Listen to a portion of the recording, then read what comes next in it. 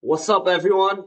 Welcome back to another episode of Moo Moo Trades, where we're going to show you guys the easiest and simplest setup that if you learn how to master, you're going to be able to make some money day in and day out just trading this one setup over and over and over again.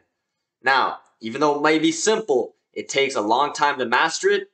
So, what you got to do is watch the entirety of the video and make sure to practice, practice, practice. Otherwise, if you're not going to watch the video, just click away right now. Because believe me, there's going to be some valuable information. So strap on, put your seatbelts on, do whatever you got to do, get some popcorn, get by your laptop, sit back, and enjoy the show. Let's get into it. And the setup that we are going to go over today is going to be very, very powerful, especially in trending markets. It's nothing new, it's simple, and pretty much every trader knows about it. It's the second entry long two-legged pullback, whatever you want to call it.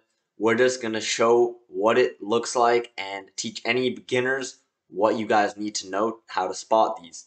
So when we're looking at a trending market like this and we see that there's a strong uptrend, we want to look for second entry longs. Now, a first entry is whenever a bar like this, any bar on the on the on the chart, any candlestick breaks above the one previous to it.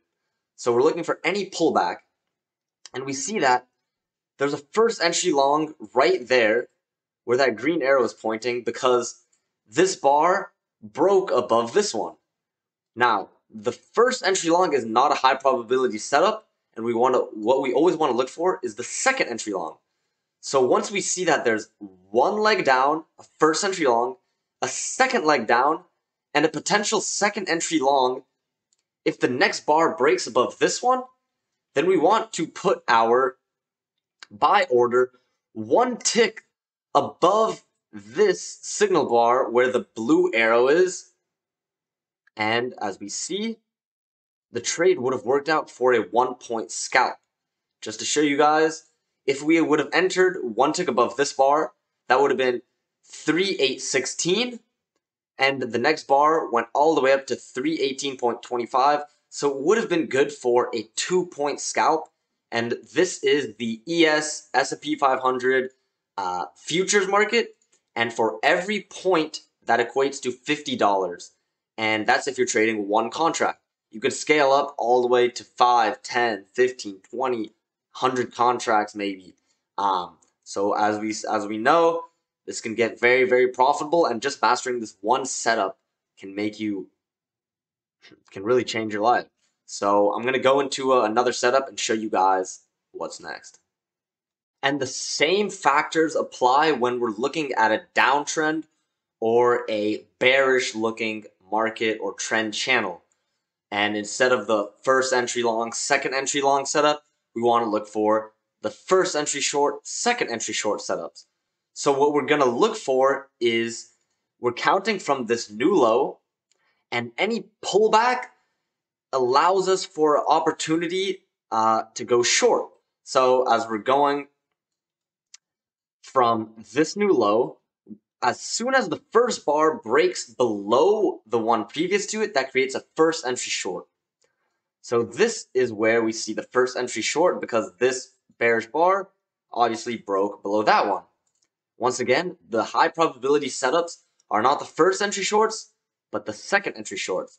So as soon as a bar breaks above one previous to it, like this one, when the next bar breaks below that, that will create a second entry short because it's acting as a second pullback. This leg, this green leg, is one leg up creating a first entry short opportunity as discussed. And when there's another leg up, if the next bar breaks below this one, that'll create a second entry short. Now, as we will see, the next bar actually didn't break below that. So the second entry short is triggered only with this bearish bar. And once again, we would go short one tick below the signal bar with the blue arrow and it would have worked out for a great trade. Now, as we stated about this green bar not breaking below the one previous to it, It does add a little more complexity to the trade, but this video is really just to show you guys the basic, basic premises of these entries. And as we see, and we're going, going, going, we kept going lower and lower. Let's look if we can see any more second entry short opportunities. So we're counting from this new low. We went up. We had one pullback. Here's a first entry short. And we didn't get a second entry short opportunity. So let's keep going along. And as we see, if we're counting from this new low right here, we were going up. We had a first entry short because this bar broke below that one. And we went up again. And a second entry short arose right there because that bar broke below this one. Now, once again, this is not a textbook entry because these bars are not very bearish, but it's just to illustrate to you guys how the second entry shorts look like. And yeah, guys, I mean, as I said, today was just really a basic, basic, basic video to show you guys the uh, premise of the two-legged pullback, second entry short, second entry long setups. Um, we're going to have a lot more complex videos. All my previous videos are more complex than this, but I just want to see uh, what you guys think of these simpler videos. So let me know in the comments, and I hope you guys have a good one. Peace out.